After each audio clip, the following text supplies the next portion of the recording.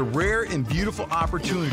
哇哇哇！史蒂文这一次也太有口福了吧！肥美碳烤牛肝当做晚餐，麻辣风干牛肉当做零食，铁板牛肉做成面团肉夹馍，还有什么牛蛋刺身爆炒牛舌，那感觉简直不要太爽了！Hello，大家好，我是吃瓜姐，喜欢我的视频的别忘了点个赞哦。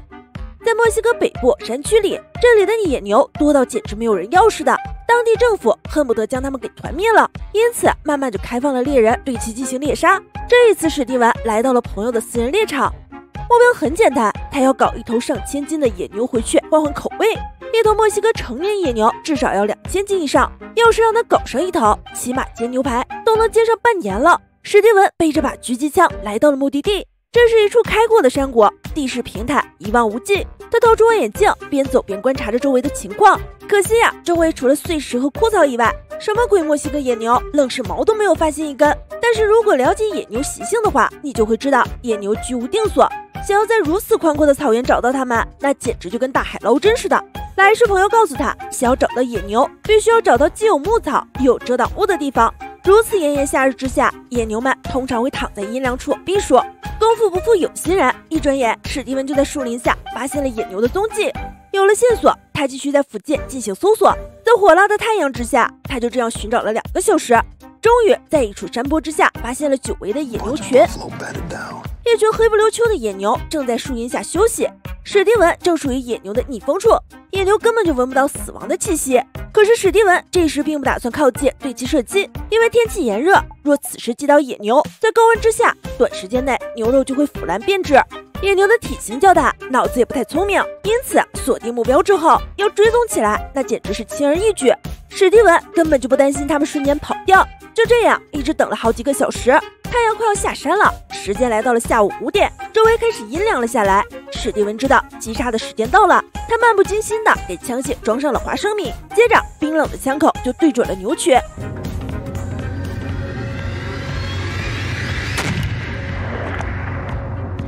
一声枪响，目标野牛应声倒地，整个牛群突然受惊起来。但是这些不再聪明的野牛跑了几步，又停下来继续吃草了。换做当地的牛仔猎人，估计整个牛圈都要被一锅端了。野牛皮和牛肉，浑身上下都是 money 呀！据说这样一头野牛至少能够卖到六千多大刀呢。幸好史蒂文并不是一个贪心的猎人，他只需要搞上一头野牛，填饱肚子就行。这是一头成年的公野牛，但是这牛肉足以填满史蒂文的冰箱。他马上开始对野牛进行处理。首先，先是割断野牛的喉咙进行放血，接下来就是扒皮割肉，再将牛腿挂在树上风干。这是进行简单的排酸处理，这样能够有效的保证肉质的新鲜口感。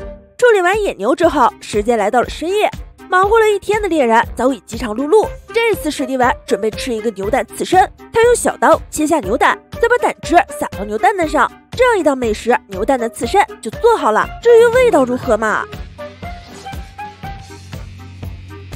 ？Oh, that's vile. Good God.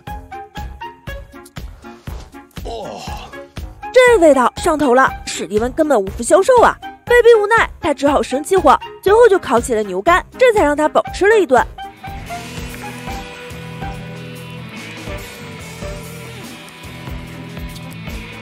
时间来到了第二天，今天的任务就是要搬运牛肉。这一次，他叫来了当地的牛仔帮忙分解牛肉。有了帮忙，很快整头牛就被带出了荒野。回到了营地，史蒂文把牛肉切成片片，再撒入各种调味料，腌制入味儿。最后就是太阳下凉晒起来。几天以后，正宗的麻辣牛肉干就做好了。你以为这样就完了吗？那你就大意了。接下来还有炭烤牛肉片、牛肉大饼、大酱卤牛肉、大锅炖牛心，还有爆炒牛肉丝。哈哈，看完这视频，你饿了吗？好了，视频到这里就结束了。我是吃瓜姐，我们下期再见喽。